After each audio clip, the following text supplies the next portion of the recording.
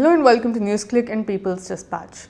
Indian central trade unions have given a massive protest call for the 2nd of August, calling all workers and trade unions to participate regardless of their affiliation in and, uh, and raise their voices against the anti-worker policies of this right-wing BJP government led by PM Narendra Modi. And to talk more about this, we have with us Dr. Hemalata, who is the president of Center of Indian Trade Unions. Welcome. So, uh, can you first tell us, start by telling us more about this protest and why this protest call has been given? It's basically against the what you call the anti-worker policies, what is uh, visible by the introduction in the parliament of two codes. There is the code on wages and the code on occupational health and safety. So these two are not meant actually for improving the conditions of the workers. Any law, we think that it should improve the working conditions of the workers or expand the coverage. But instead of that, what they are going to do is to restrict the benefits the workers uh, are getting today. And the trade unions have been objecting to these, they were opposing to these even earlier. This is the Code on Wages Bill.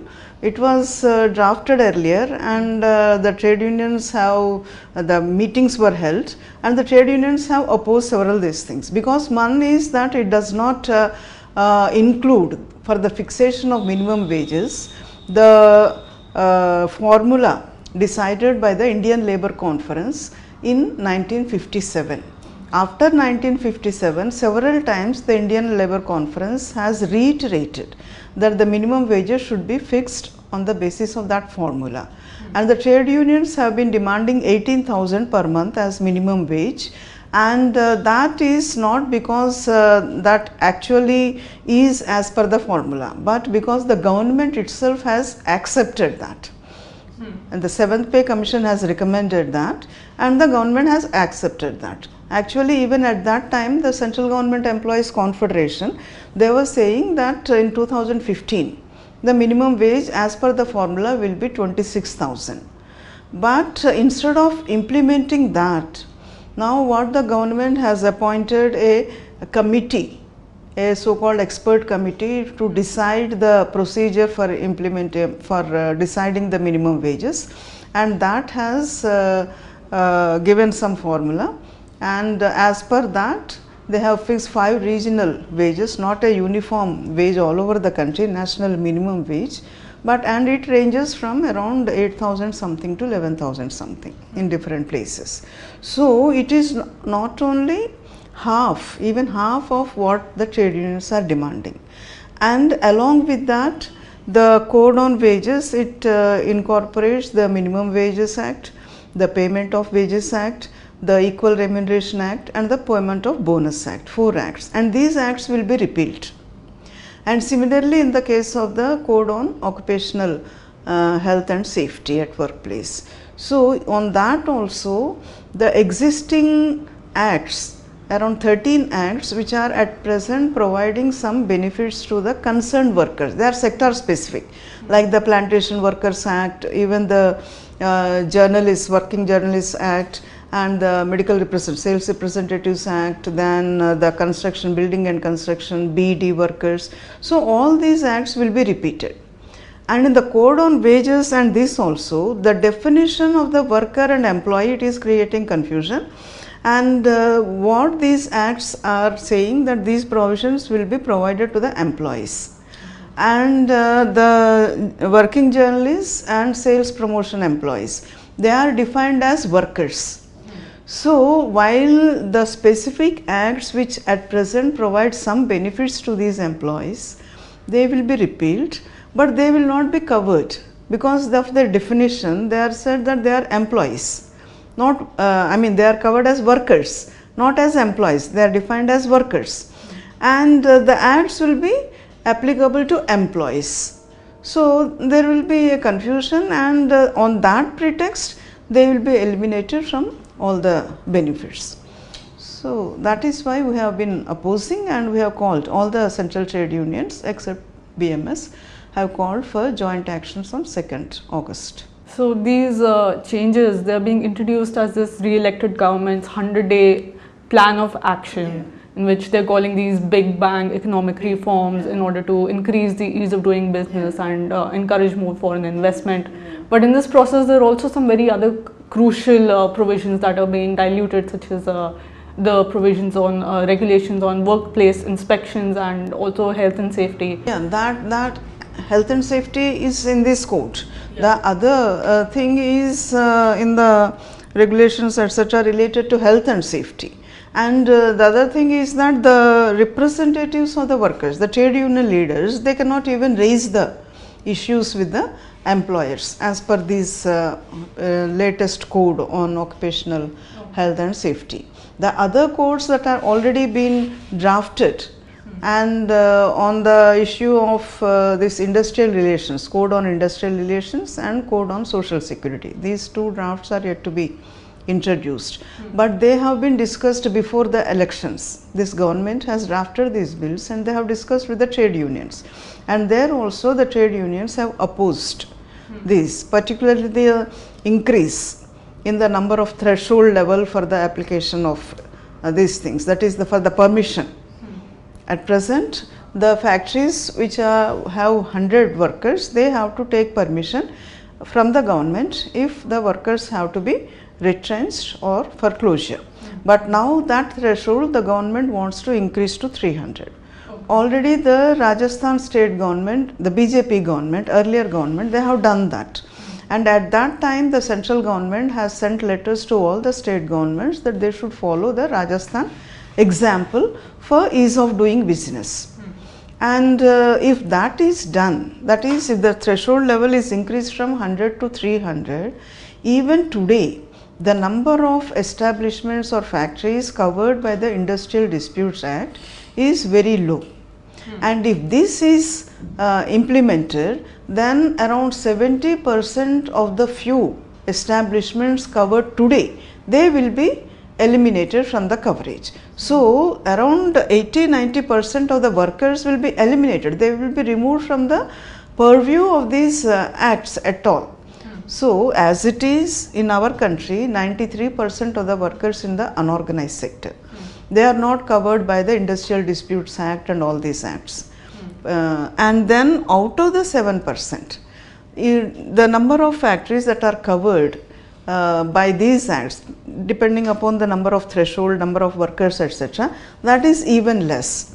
Then, of those who are covered, 70 percent will be eliminated. So, very few people will be covered. So, the government's argument that it will promote ease of doing business itself is not correct because that is not preventing the ease of doing business. They don't want to invest because they don't have the market. The main thing for the uh, investment is if the market is there, then they will be ready to invest. Now, the purchasing power is low and the um, people they don't have the purchasing power and they, they don't they can't sell their products so that is one of the reasons for not investing so instead of addressing that issue putting money in the pockets of the people increasing their wages increasing improving their working conditions particularly improving employment it's not possible. What they are saying is that it will provide employment by doing ease of uh, making ease of doing business. By improving that they say that it will provide employment. But today there is no evidence that by removing the workers from their benefits and that will attract ease of doing business. And then through that employment will be promoted. Even ILO says that it doesn't happen. So only for the benefit of the corporates our uh, domestic or uh, international multinational that is what the government is doing, particularly today in the context of the crisis. They want to attract investment, they come to India and exploit our workers by removing all regulations so that their profits they can protect or increase. Except that it is not, and that can be uh, means we can come to that conclusion from the uh, announcement or uh, the statement of the vice president, vice chairman of the Niti Aayog. So, after the elections, even as the government was taking oath, what he said that the foreign investors will be will have a reason to be happy. It is not the people or the workers who have voted for the government who need to be happy, but it is the foreign investors who will be happy with the policies, with the big bang reforms, that is the labor law amendments, then the disinvestment, and the land pooling. Uh, these three measures that they are going to do. And uh, how are these regulations, the dilution of these regulations and the removal of these uh, provisions for workers going to impact the unorganized and the informal sector in particular? See, there will be a lot of pressure. Already, large number of workers are in the informal sector, and they don't, they are not covered. And these workers also, they will be uh, thrown because of the unemployment situation uh, the, the hire and po fire policy, if that is implemented, the workers as per the requirement of the employers, they will be thrown out of employment. So, when the workers will lose their employment, naturally when there is a large number of unemployment people, then the bargaining power of workers, whether it is in the unorganized sector or unorganized sector, that will worsen. Even today, the unorganized sector workers don't have that much bargaining power because uh, they are not uh, most of the laws are not applicable to them. So, it will further worsen and now the government has fixed what the minimum wages floor, floor level minimum wages as 178 that is what they said only 2 rupees have been increased. Yeah. So, this 18,000 is not there and even the 375 is not there what the government according to that uh, expert committee mm -hmm. and now it is 178 and that how far it will be implemented there is no machinery for implementation even the few benefits or wherever they get that. So the wages working conditions they will get worsened. And the government says that this social security code will be universally applicable. But now actually the provident fund and esi which are there they will also be repealed Hmm. Actually, they said that they, all these acts are merged, around yeah. 14 acts are merged in the Social Security Code. Okay. In that EPF Act is there, ESI Act is there, Building and Other Construction Workers Act is there, Maternity Benefit Act is there. So, all these acts will be repealed once the code comes into uh, force. But at the same time, what is the guarantee and what is the um, means uh, implementation, where are the funds, whether the government will be allotting adequate funds for the coverage, that there is no uh, clarity on that. The government is not saying that we are going to allocate these funds for this, providing these things. So, in that situation, the unorganized sector workers will not benefit. Even the different pension schemes that the government announced, the worker has to contribute up to his 60 years and he will get, get the benefit only after he reaches 60 years. Mm -hmm. So, he cannot withdraw his money. So, in the PVF, EPF Act, you can withdraw your money uh, according to there are some provisions. But here they, he will not be able to uh, withdraw the money. So, he, can, he has to go on contributing and then his money also he cannot withdraw and only he will get pension after he is Uh, 60 years. So, a worker who is today say 20 years or so, for around 40 years he has to continue to contribute. Only after that he may get and what will be the value of that money, the pension he will get nobody can say today. So, instead of applying the EPF existing acts, what we want is the existing EPF Act, ESI Act, they should be made applicable. Now, unless you have 20 workers EPF Act is not applicable, 10 workers ESI is not applicable. So, what we want is that even if there is one worker, hmm. you have to make it applicable and provide the infrastructure and the benefits to all the workers.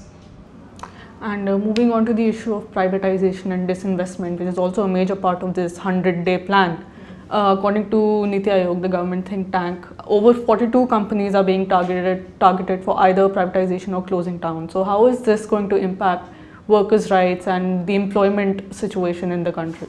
Disinvestment and privatization is whether they may not apply, uh, impact the uh, employment situation immediately. But one thing is that the public sector enterprises are the wealth of the nation and they have been uh, means uh, uh, contributing to the country's development in a very huge manner, providing employment opportunities in the rural areas, sometimes in the tribal areas, uh, providing the government with the resources, paying the taxes and other uh, benefits, etc., dividends, all these things. They have been regularly doing that. And now disinvestment and privatization, they say that even profit making things will be privatized. Public. So, what the uh, vice chairman has said Niti Aayog that they will put on the public sector undertakings on a conveyor belt. Belt. So they will be putting on these things. So selling off. It is mainly to selling off the our national's wealth. So that is where the labor laws will be applicable, where actually in the public sector labor laws are applicable. Yeah. The workers have trade union rights and there is uh, this uh, bargaining bargaining, collective bargaining of the workers with the managements and these things take place. But in the private sector, the employers even don't uh, talk to the unions. Hmm. Generally, particularly the multinational corporations, they don't talk even to the unions. So, the bargaining power of the workers will come down and then there will be uh, now they are talking about compulsory retirement scheme in the railways. Hmm. So, that way the retirement scheme all these things will take place, mergers and so many things. So, ultimately the workers existing benefits will not be available to them. The number of workers in the name of uh, right sizing uh, or uh, this thing regulation, uh, regulation that they are bringing down means not in retrenchment but it's a form of retrenchment like compulsory retirement. Yeah. In the railways they are asking lists for 55 years, those who are above 55 years. Now they are asking lists and uh, also those uh, who have worked for more than 30 years. Mm. So that way they want to regulate the number of employees. -hmm. So and particularly one of the serious things that they are doing is the railways. Yeah. In the railways, these public sector undertakings they are uh, they have decided and uh, railways also which is a cheap method of transport for the common people. It is two sided. One is for the passengers, for the common people. Second is for the workers and employees there. And uh, our production units, now they have decided to corporatize. And corporatization, the railway minister is saying that it is not privatization. But once they are corporatized, then as a department, the railways are giving orders to the railway, these production units. Now they will be asked to compete with the other corporations, including multinational and foreign companies. So it is there is no guarantee that they will be given work. So already they have stopped giving work and they are outsourcing. It is not that uh, they are not producing as per targets or the quality is bad. It's not like that. Even in recently in the parliament, the minister has replied that they are producing as per targets and uh, the so called uh, Vande Bharat Express. Yeah. Uh, it is uh, produced in our Chennai ICF. Hmm. So, we have the capability and uh, our workers are able to produce, but even then the orders are uh, curtailed and they, they have to compete with the other companies, foreign companies and if Alstom and General Electric they can come, they will come, then it will be difficult. So in that way, our instead of actually making in India, our indigenous production capacity is being destroyed. So that is the danger. So instead of developing that, it is being destroyed. So that is a loss for the nation entirely. It is not only for the workers. Workers will lose their jobs. That is, and similarly the workshops also. There also work is being outsourced. They are kept idle. And now they want to run trains, private trains. You know, to start with, they are giving to IRCTC. And they will, including uh, the Rajdhani and Shatabdi trains, they will run. They will decide the ticketing, they will uh, decide the uh, provisions and in-house uh, services etc. inside the train. And the government has also decided that they will curtail the subsidies. Yeah. At present, the government is giving 43% subsidies to the passengers. Only 57% is borne by the passengers. Now they say uh, that they will reduce and gradually uh, totally uh, remove the subsidies, then the fares will almost double. So that today the passengers who are traveling in Indian railways, they are mostly common people and poor people. The comparatively well-to-do are using the airlines, they are traveling by air. But the railway passengers are mostly poor and common people and uh, the daily passengers, employees etc. So it will be a burden on them. So that way both the passengers will lose and this also they are doing because when the private players are coming to run the trains, they will not provide any passenger uh, subsidies. So then they will not have the market. So facilitate their getting profits. The government is bringing down the subsidies for the common people. So the entire thing, the policy of the government to curtail the rights and benefits of the common people, put burdens on them for the benefit, for the profits of the big corporates. So that is why we are opposing. And uh, finally, what are the uh, main demands uh, the trade unions are putting forth in this second August of uh, second August protest and uh, yeah immediately on second August is to withdraw this withdraw uh, entire these labor codes which we have been opposing so um, and privatization privatization uh, disinvestment or outright uh, sale strategic sale etc we want that we, they have to be uh, withdrawn and these labor codes also should be uh, uh, not applicable, not passed and the welfare benefits for the workers should be increased. The EPF and ESI, they have to be applicable to all the workers. Minimum wages, now in the recent uh, uh, memorandum to the finance minister before the budget, all the trade unions have demanded that the minimum wages should be 20,000 because the 18,000 demand was placed in 2016 so with uh, in the three years, the wages have increased. So we are demanding that, I mean the uh, prices have increased. So we are demanding minimum wage of 20,000, social security benefits to all, including pension of 6,000, no privatization and also particularly the defense and uh, the railways. Uh, they should be strengthened, no privatization. These are the basic demands at present. But our basic jo 12 point chart of demands that is also there but in this we are focusing on these demands. So what is the future plan of action in case the government does not listen to these demands that are being put forth on the 2nd of August? Yeah, all the central trade unions have given this call uh, except BMS and the railway workers on struggle. In all the production units there have been strikes and mobilizations, dharnas, protests etc. In Varanasi, the Prime Minister's constituency, the DLW workers, they have demonstrated half naked when the Prime Minister went there.